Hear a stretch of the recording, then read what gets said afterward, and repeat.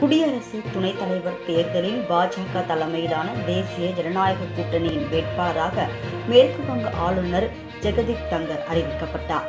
இந்நிலையில் அவரை எதிர்த்து எதிர்க்கட்சிகள் சார்பில் காங்கிரஸ் மூத்த தலைவரும் ராஜஸ்தான் மாநில முன்னாள் ஆளுநருமான மார்க்ரெட் ஆல்வா அறிவிக்கப்பட்டுள்ளார். இவரை தேர்வு செய்வதற்கான முடிவு தேசியவாத காங்கிரஸ் தலைவர் சரத்பவார் தலைமையில் நேற்று நடந்த எதிர்க்கட்சிகள் கூட்டத்தில் எடுக்கப்பட்டது.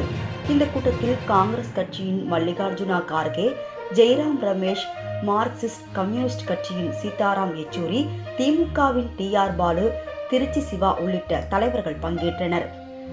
யார் இந்த மார்க்ரேட் ஆல்வா மார்க்ரேட் ஆல்வா கர்நாடக மாநிலம் மங்களூரில் ஆயிரத்தி தொள்ளாயிரத்தி நாற்பத்தி இரண்டாம் ஆண்டு ஏப்ரல் பதினான்காம் தேதி பிறந்தார்.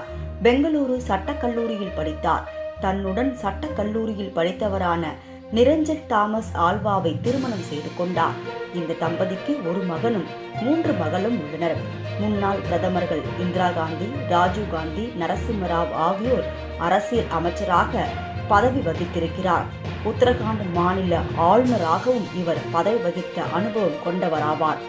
நாட்டின் இரண்டாவது மிகப்பெரிய அரசியல் சாசன பதவியாக கருதப்படுகிறது. குடியரசு துணைத் தலைவர் பதவி.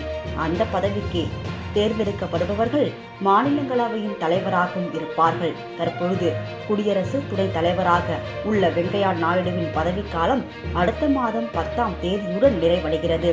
இதையடுத்து புதிய குடியரசு துணைத் தலைவரை தேர்ந்தெடுக்க ஆகஸ்ட் ஆறாம் தேதி தேர்தல் நடைபெற உள்ளது தேர்தலில் போட்டியிட விரும்புபவர்கள் வேட்புமனு தாக்கல் செய்ய வரும் பத்தொன்பதாம் தேதி கடைசி நாளாகும்.